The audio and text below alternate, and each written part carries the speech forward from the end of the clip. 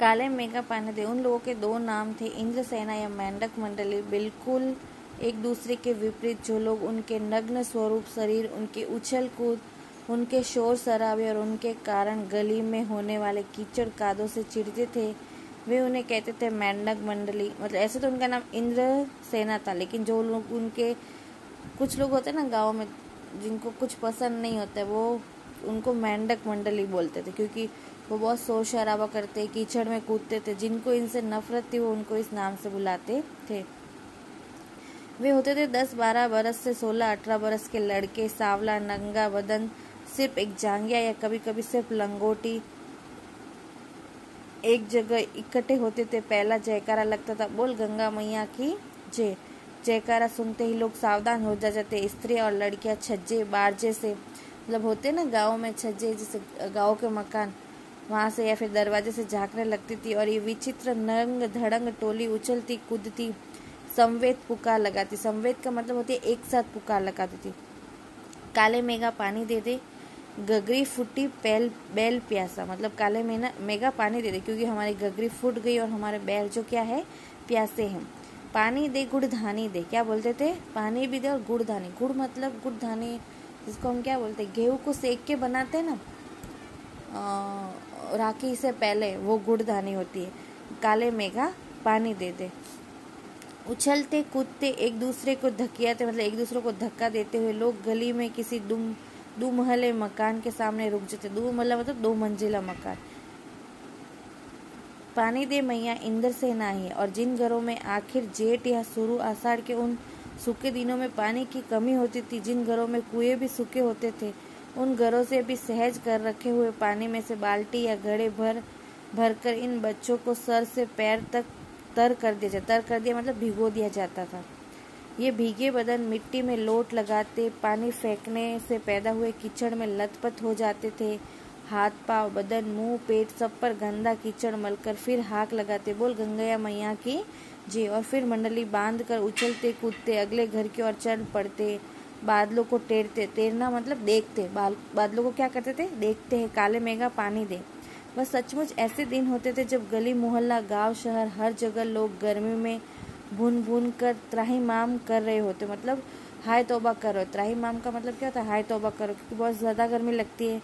जेठ के दस तपा बीत कर अषाढ़ का पहला पकवारा भी बीत चुका होता है, पर सितीज पर कई बादल की रेख भी नहीं दिखती होती है।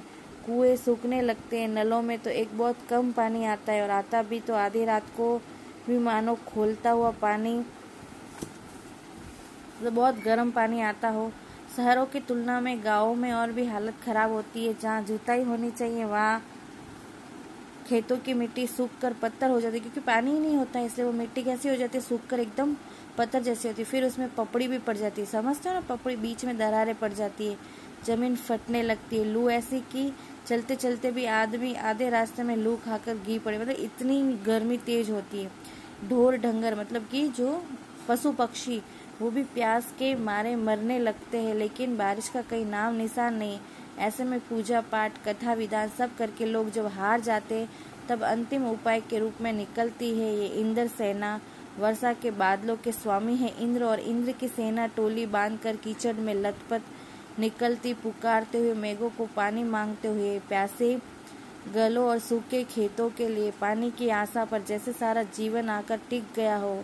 बस एक बात पर मेरे समझ में नहीं आती थी कि जब चारों और पानी की इतनी कमी है तो लोग घर में इतनी कठिनाई से इकट्ठा करके रखा हुआ पानी, बाल्टी भर भर कर इन पर क्यों फेंकते? ये कौन कह रही है लेखिका? जब उनको पता है कि भाई पानी की इतनी कमी है तो फिर वो ऐसे पानी क्यों फेंक रहे हैं? ऐसे निर्मम बर्बादी है पानी की ये देखो। ये वो मैं खिड़कियाँ, झरों के छज्जे जो बताए ना, वो इस तरीके से होते हैं। देश को कितनी क्षति होती है। मतलब इस तरीके से पानी फेंकने से देश में पानी की कितनी कमी और फिर इस तरीके से फेंकोगे तो पानी की और क्षति हो जाएगी। इस तरह के अंधविश्वासों से कौन कहता है कि इंद्र की सेना, अगर इंद्र महाराज से ये पानी दिलवा सकते तो खुद अपने लिए पानी क्यों नहीं मांग लेते? क्यों मोहल्ले भर का पानी नष्ट करवाते घूमते नहीं, ये सब पाखंड है, ये अंधविश्वास है। ऐसे अंधविश्वासों के कारण हम अंग्रेज़ों से भी पिछड़ गए और हम गुलाम बन गए। मैं असल में था तो इन्हीं मेंढक मंडली वालों का मतलब लेखक बोल रहा है, ठीक है? लेखक भी मेंढक मंडली में था, पर कुछ तो बचपन के आर्य समाजी संस्कार थे और एक कुमार सुधार सभा कायम होती, उसका उपमंत्री भी बना दिया गया था, जो समाज सुधार का जोश कुछ ज़्यादा ही था। अंधविश्वासों के खिलाफ तो तर्कस में तीर रखकर घूमता रहा। तर्कस का मतलब होता है जो तीर रखने की जगह होती है, ठीक है? जहाँ हम तीरों को एक साथ रखते हैं, पीछे लगाते हैं ना, वो तर्कस। मगर मुश्किल ये थी कि मुझे अपने बचपन में जिससे सबसे ज़्यादा प्यार मिला वे थी जीजी। यूँ मेरे रिश्ते में कोई नहीं था। उम्र में मेरी माँ से भी बड़ी थी, पर अपने लड़के, बहू सबको छोड़कर उनके प्राण मुझी में बसते थे, और वे थी उन तमाम रीति रिवाजों तीज त्योहारों, पूजा अनुष्ठानों के खान, जिन्हें कुमार सुधार सभा का ये उपमंत्री अंधविश्वास कहता था। और उन्हें जड़ से उखाड़ फेंकना चाहता था। पर मुश्किल ये थी कि उनके कोई पूजा विधान कोई त्योहार अनुष्ठान मेरे बिना पूरा ही नहीं होता था। मतलब वो इतनी भगवान की भक्ति की हर अनुष्ठान पूजा में अपने भाई को बुलाता लेकिन ये जो भाई है भाई मतलब कौन? हमारे लेखक। उनको ये सब पाखंड लगता था। फिर भी वो शामिल होते थे। दिवाली है तो गोबर और कोड़ियों से गोवर्धन और सतिया बनाने में लगा हूँ। जन्माष्टमी तो, तो रोज आठ दिन की झांकी तक को सजाने और पंजरी बांटने में लगा हूँ। हर छठ है तो छोटी रंगीन कुल्हाड़ियों में भूजा भरा रहा हो। कुल्हड़ियों में सॉरी कुल्हड़ियों, जो मिट्टी के कुल्हड़ आते ना उसमें। भूजा मुझे नहीं पता ना, किसी में भुना चना, ये हो सकता है, देखो। किसी में भुनी मटर मतलब सेके हुए चने, छेकी हुई मटर, किसी में भुने अरवा चावल, किसी में भुना गेहूँ। जीजी ये सब मेरे हाथों से कराती, ताकि उनका पुण्य मुझे मिले, केवल मुझे। लेकिन इस बार मैंने साफ़ इनकार कर दिया। नहीं फेंकना है मुझे, बाल्टी भर भर के पानी इस मेंढक मंडली पर।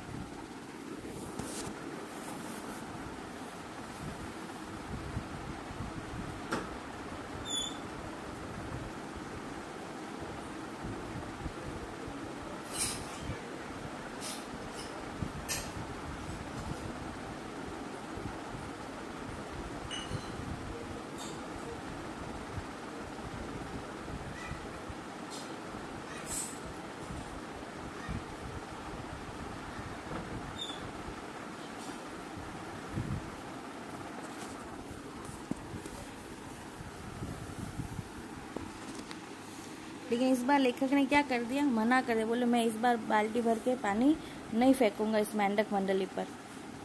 जब जीजी बाल्टी भरकर पानी लेने गई, उनके बुढ़े पाव डगमगा रहे थे क्योंकि वह बुढ़ी हो गई थी। हाथ काँप रहे थे, तब भी मैं अलग मुँह फुलाए खड़ा रहा। शाम को उन्होंने लड्डू मटरी खाने को दिए तो मैंने उन्हें हाथ से अलग खिसका दिया।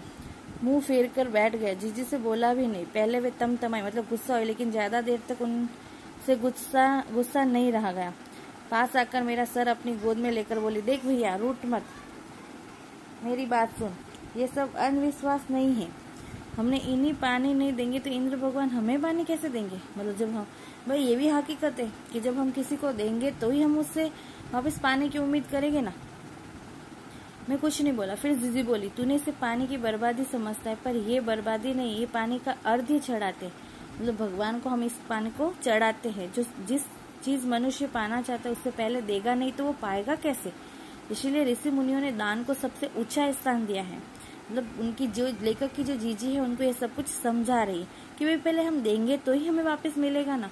ये सब चीज़ें इसलिए तो ऋषि मुनियों ने जो हमारे है ऋषि महाराज, जो गुरु जी वगैरह, उन्होंने सबने क्या कहा कि सब दानों में दान सबसे बड़ा दान है। कोई भी दान करो लोगों को, क्योंकि उनको ज़रूरत है।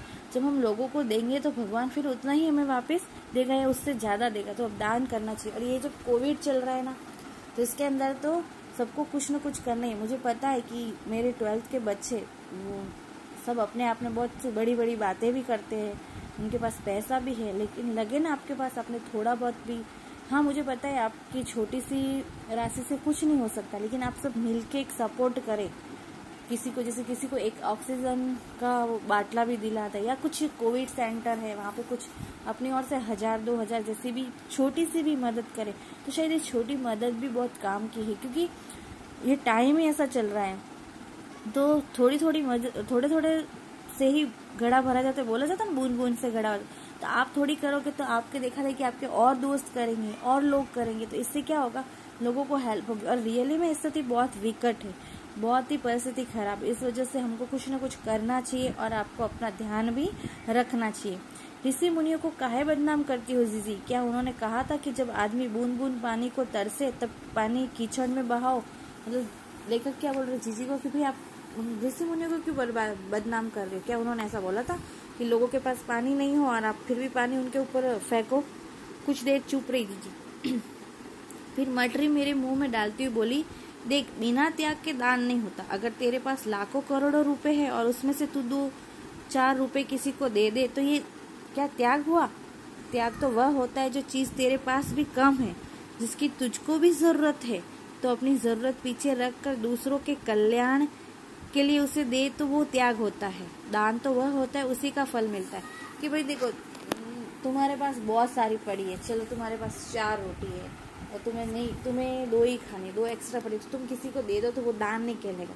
लेकिन तुम्हारे पास एक ही रोटी और कोई आया है भूखा तो तुम उसमें से आधी रोटी उसे दोगे तो वो क्या कहलाएगा? दान। या कभी कभी पूरी भी दे दोगे तो वो दान कहलाएगा। क्योंकि तुम अपनी भूख छोड़कर दूसरों की भूख मिटा रहे हो तो ये पुण्य का काम है। फल वल कुछ नहीं मिलता, सब ढकोसला, ये तो सब कहने की बात है। लेखक ऐसा कह रहा मैंने तो कहा मैंने कहा तो पर कहीं मेरे तर्कों का किला पस्त होने लगा था। मतलब किला पस्त होने लगा मतलब मैं हारने लगा था। क्योंकि दीदी के तर्क मेरे आ, मेरे तर्कों के आगे बहुत अच्छे वाले थे। मगर मैं भी जिद पर अड़ा था। फिर दीदी बोली देख तू तो अभी से पढ़ लिख गया है। मैंने तो गाँव के मदरसे का भी मुँह नहीं देखा मतलब स्कूल मदरसे मतलब स्कूल का भी मुँह नहीं देखा। पर एक बात देखिए कि अगर तीस चालीस मन गेहूँ उगाना है तो किसान पाँच छः शेर अच्छा गेहूँ अपने पास से लेकर ज़मीन में क्यारियाँ बनाकर फेंक देता है। समझ गए? कितने? तीस, चालीस मन गेहूँ उगाना है।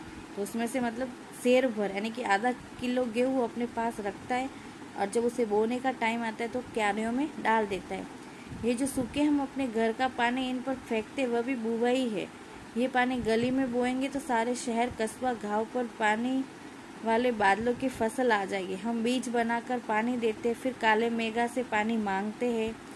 सब ऋषि मुनि कह गए कि पहले खुद दो तब देवता तुम्हें चौगुना या अटगुना करके लौटाएँगे। समझ में आ गया? भैया ये तो हर आदमी का आचरण है जिससे सबका आचरण बनता है। यथा राजा तथा प्रजा सिर्फ़ यही सच नहीं है। सच ये भी है कि यथा प्रजा तथा राजा। मतलब हमेशा कहावत कि यथा राजा तथा प्रजा मतलब जहाँ रा, जैसा राजा वहीं वैसी ही प्रजा होगी लेकिन ऐसा नहीं। पहले प्रजा भी कुछ करती है तो अब अब वाला क्या है? यथा प्रजा मतलब जैसी प्रजा होगी, वैसे ही क्या होगा? राजा होगा। यहाँ तो गांधी जी महाराज कहते हैं, जीजी का एक लड़का राष्ट्रीय आंदोलन में पुलिस की लाठी खा चुका था। तब से जिन जी गांधी जी महाराज की बात अक्सर करने लगी थी। इन बातों को आज पचास से ज़्यादा बरस होने को आए पर ज्यो की त्यों मन पर दर्ज हुए। कभी कभी कैसे संदर्भों में ये बात मन को कचोर जाती है, हम आज देश के लिए करते क्या है? मांगे हर क्षेत्र में बड़ी बड़ी है, पर त्याग का कई नामो निशान नहीं है। अपना स्वार्थ आज एकमात्र लक्ष्य रह गया मतलब सबका यही है कि बस हम हम सुखी रहने चाहिए। हम चटखारे लेकर इसके या उसके भ्रष्टाचार की बातें करते, पर क्या कभी हमने जांचा है कि अपने स्तर पर, अपने दायरे में हम उसी भ्रष्टाचार की अंग तो नहीं बन रहे?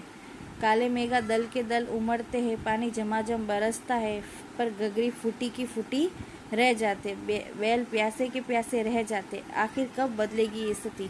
और मतलब इतना करने के बाद भी कहीं भी पानी की बारिश नहीं होती है तो ये हम सब कब बदलेगी ये स्थिति? मतलब एक तरीके से ये आज की स्थिति पर व्यंग्य कसा है लेखक ने।